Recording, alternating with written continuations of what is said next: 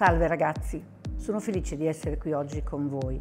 A dire la verità avrei voluto essere con voi fisicamente e avervi tutti di fronte per potervi parlare direttamente e per ascoltarvi, perché è bello anche ascoltare i ragazzi. Sono qui per raccontarvi la mia storia, che è una storia molto bella, sembra quasi una fiaba. La mia passione per la moda nasce perché mia madre negli anni 60 aveva una sartoria sulla costa adriatica la costa adriatica allora aveva dire, un fascino incredibile perché c'era Federico Fellini che raccontava il nostro territorio in un modo incredibile, fantastico, surreale ma molto speciale. E come succede sempre, le mamme lavorano, i bambini piccoli vengono affidati alle zie.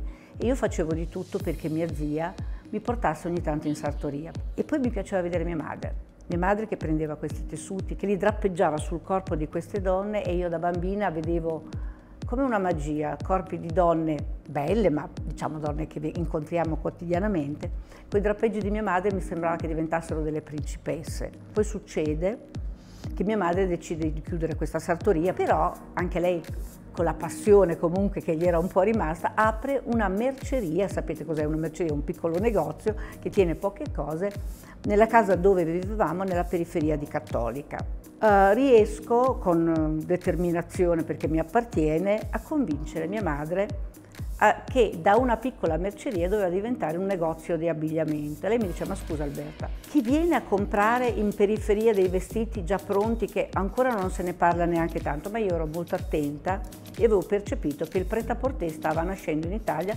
ed era una voce molto importante. E io nel frattempo avevo smesso di andare a scuola e questo sinceramente è la cosa che mi è mancata di più.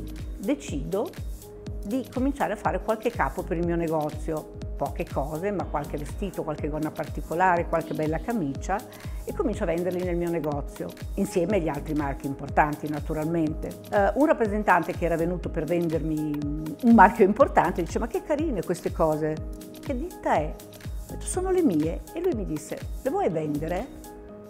la famosa cogli l'attimo, ho detto sì.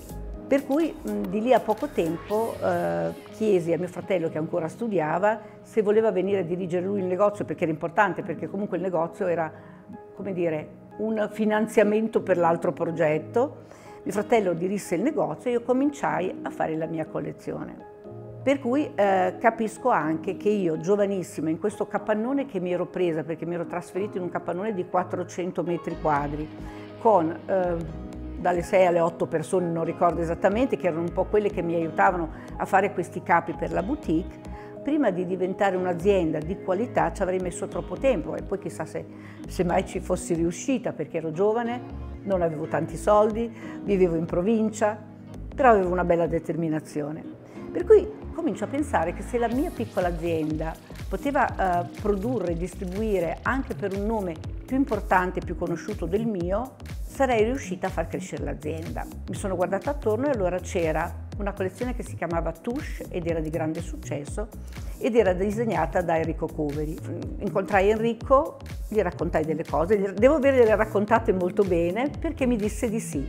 Per cui lanciai Enrico Coveri, parallelamente continuavo a fare la mia collezione, potevo ampliare la produzione interna, fare una qualità migliore e nel giro di due anni Enrico ebbe un grande successo. Nel frattempo io crescevo e la mia azienda cresceva. La mia azienda ha lanciato anche Franco Moschino. Ecco, poi a quel punto io ho chiamato mio fratello, mi è dispiaciuto, abbiamo venduto il negozio, perché a me piaceva la parte creativa, avevo bisogno anche di una parte che seguisse un po' più manageriale, più amministrativa. È arrivato mio fratello e abbiamo lanciato anche Franco Moschino e molti giornalisti dicevano, ma come, tu sei una designer e dai spazio agli altri designer? Io dicevo, certo, ognuno di noi racconta una storia, ognuno di noi ha il proprio stile, perché devo essere gelosa? Dobbiamo cercare tutti di fare il meglio, siamo tutti italiani e il Made in Italy è oggi sicuramente il più importante nel settore della moda, ma già allora, anzi forse siamo stati proprio i primi. Nell'81 faccio la mia prima sfilata, coraggiosa o forse incosciente, non so dirvi come, perché in quel momento la moda parlava un linguaggio completamente diverso dal mio stile, perché allora le donne, tra virgolette, si travestivano quasi da uomo perché entravano nel mondo del lavoro, nei consigli di amministrazione, dovevano avere questo appeal più severo. Io no. Io facevo sottoveste di satin, abiti di chiffon, magari li facevo mettere con gli stivali, oppure dei piccoli cardigan. Mi piaceva una donna femminile, anche con un pizzico di romanticismo, perché per me il romanticismo non è un segno di debolezza, ma è un segno di forza. Però forse proprio per questo sono riuscita con forza, andando avanti con quello stile, non tradendo il mio sentire nel, verso la donna, il mio rispetto nella donna, ad avere un buon successo. Oggi AF è una bellissima azienda, è un'azienda che produce Alberta Ferretti, Moschino, Filosofi e poi abbiamo anche gli accessori come Pollini e abbiamo anche 2000 dipendenti, dipendenti diretti che rappresentano l'azienda in tutte le sue sfaccettature, dalla prototipia alla qualità, alla confezione, all'amministrazione, alla distribuzione. La moda può sembrare un lavoro divertente, lo è se lo ami, perché ti impegna a 360 gradi.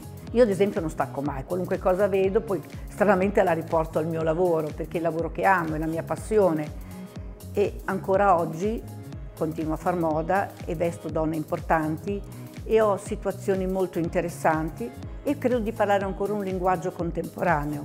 Sono curiosa, mi piace ascoltare, dico tutti i giorni ho una nuova lezione di vita, è un lavoro veramente interessante e ancora oggi penso di farlo con la passione di una volta, forse anche di più, e sono attenta al mondo che cambia. Guardo le donne, Uh, voglio mantenere il mio stile e credo che oggi più che mai paghi perché c'è di nuovo voglia di qualità, di capi che entrano in un guardaroba che non vengono buttati via dopo sei mesi, che eh, questo è sbagliato, uh, inquinano e, e non è giusto. E poi è anche giusto che una donna scelga i vestiti che lei sente, che le stiano bene, che la facciano sentire a suo agio, che si vesta per se stessa e non per interessare agli altri. Questo è molto importante.